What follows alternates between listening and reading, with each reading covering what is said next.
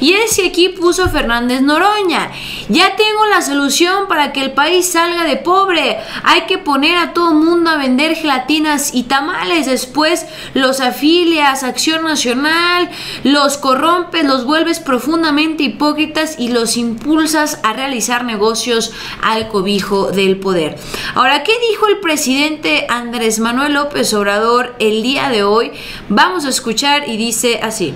Luego vendieron otro este, cuento de un hombre guapo. Hicieron hasta una telenovela. Y ahora nos quieren vender otra farsa de que una mujer que empezó vendiendo gelatina este, ha logrado superarse. Porque no sé si ustedes han escuchado mucho eso, de cómo eh, quien empieza vendiendo libros o con una taquería, conozco algunos casos, a lo mejor ustedes me van a ayudar y los que me están escuchando, de políticos corruptos que justifican así toda la riqueza, mala vida que han acumulado. Conozco de un empresario, eh, ¿quién? Que, era maestro, ¿no? Maestro Han. Vendía dulces, sí. Otros que eh, boleaban zapatos, ¿eh? Cedillo. Sí, no, pero conozco uno que vendía, este, ¿cómo se llama? Antelas parabólicas. Y se volvió, ah, el del financiero, sí, bueno, pues ahí está esta historia, este cuento rancio no es nuevo, pero sí es importante que los jóvenes conozcan este tipo de situaciones para que no caigan en las garras de la oposición vendiendo este cuento rancio. Y es que en ese sentido, Noroña fue muy sincero, lo digo yo también. Realmente Carlos Slim no sería el empresario que es ahora si no le hubieran regalado teléfonos de México. Ahora, yo pregunto, ¿a quiénes de nosotros se nos ha regalado lado una empresa y una empresa de tal magnitud que durante muchos años fue el monopolio de los teléfonos en este país, de las líneas telefónicas en este país y no fue hasta hace poco cuando ese monopolio se liberó. Entraron otras empresas pero siguieron vendiendo caro.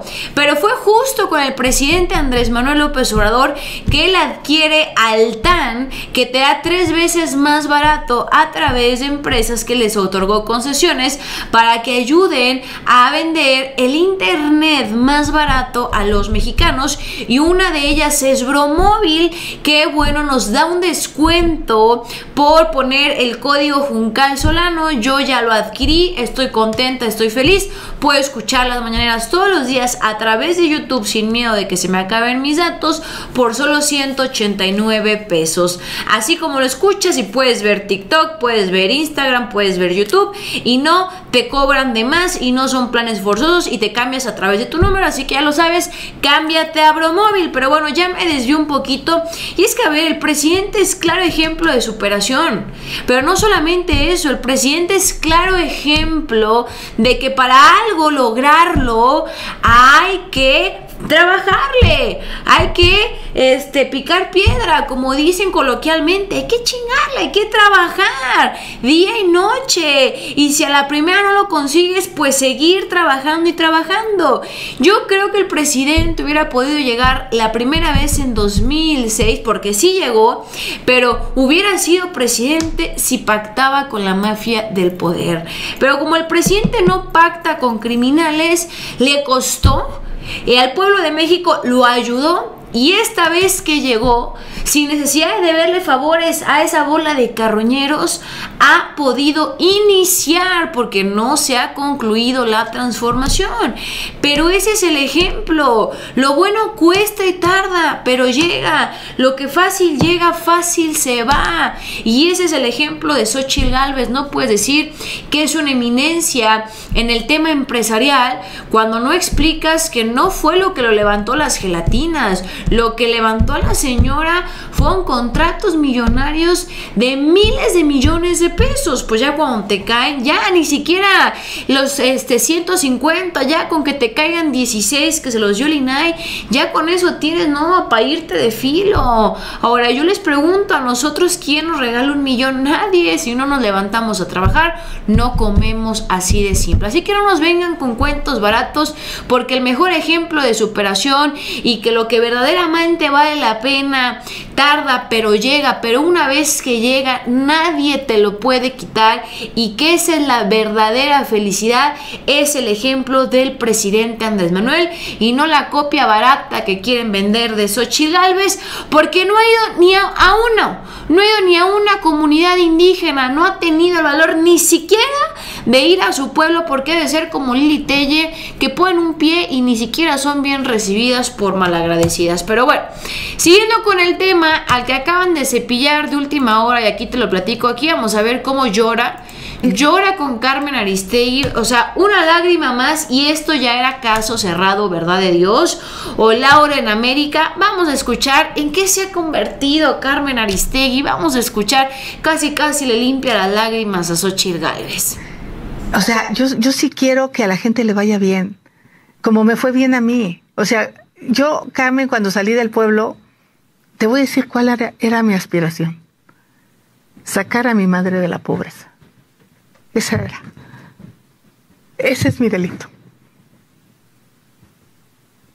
¿Te emocionaste al recordar a tu mamá? ¿Delito? ¿Cuál? Dejar de ser pobre, dejar de vivir en la violencia, Carmen. ¿Cuántos mexicanos no sueñan con eso? Porque el presidente nos desprecia. O sea, porque el presidente no se da cuenta que mucho del recurso que he ganado, cuando trabajaba en la presidencia municipal, compraba dulces y piñatas, porque de niña nunca tuve un juguete. Bueno, pues ahí está Xochitl Galvez, yo lo puedo decir, yo me acuerdo cuando estaba en primero de secundaria, mi papá y mi mamá se quedaron sin trabajo. Recuerdo que nos tuvimos que quedar solas, que esa una Navidad no tuvieron mis papás ni para un regalo y no por eso voy a andar robando, mi querida familia. Así nos podemos ir. Todos hemos vivido circunstancias o situaciones, pero eso no inhibe que seamos rateros como lo es la señora. Entonces que no venga con sus lágrimas falsas, al contrario, al ver cómo mi papá y mamá se levantaron por nosotros, porque aunque yo no tengo hijos, no puedo imaginar mayor preocupación que no tener que llevarle de comer a tus hijos, quedarte desempleado y que por más que le buscas, está caramba. Y eso fue en tiempos de Felipe Calderón, ustedes recordarán la famosa recesión. ¿Y qué ejemplo adquirí? Que debo de ser trabajadora, que debo de ser trabajador, eh, como mi papá y como mi mamá, trabajar honesto, esforzarme por lo que quiero y bueno, seguirme preparando, pero de forma honesta. Esto que ella está haciendo se me, se me hacen fregaderas, discúlpenme. Y alguien que verdaderamente es pensante, esto, esto no se lo van a comprar. Es falsa a todas luces y es mentirosa como lo estamos viendo aquí en pantalla. No tiene perdón de Dios